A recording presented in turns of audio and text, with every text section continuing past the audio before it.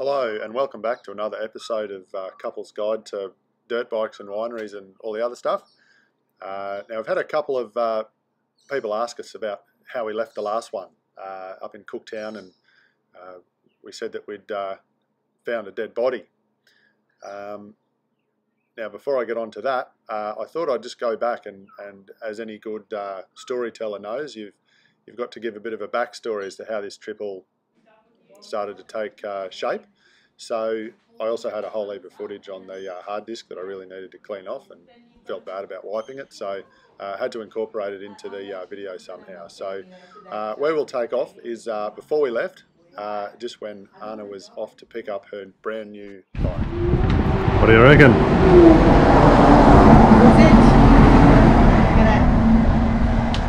So basically what we've done here, Is coming to have a chat with me. So basically the things that we changed on the bike already was um, we fit the mirrors and um, lights. We put the lights uh, instead of using the long um, how they call the tail. All right we actually fit the lights in the plastic here because mm -hmm. it's shorter. Uh, the other thing we changed it was we put foam uh, handles and we put the big tank as well. So this is a 15 liters tank. Black because we don't want that to go faded. Um, the bike itself should weigh around a hundred a hundred six kilos. For it's beautiful. Look at that. I can get touch I wasn't yeah. worried about that. So those guys here they are the best in suspension. So they've done a good job already. See there. I think the first thing I'm going to change is those mirrors. Don't like them. I don't like those square mirrors. I don't know why they put those type. I prefer something a little bit more. Just very shitty look. Um yeah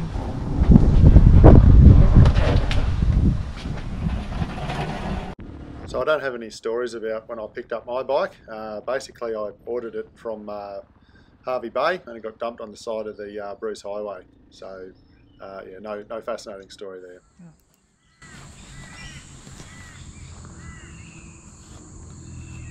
First impressions? Oh, wow.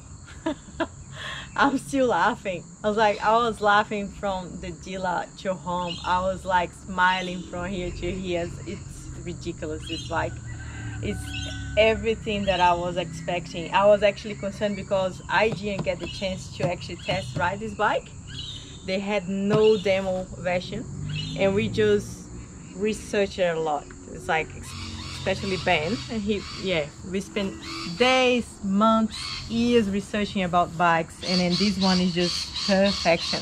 I'm so happy. It's so loud light.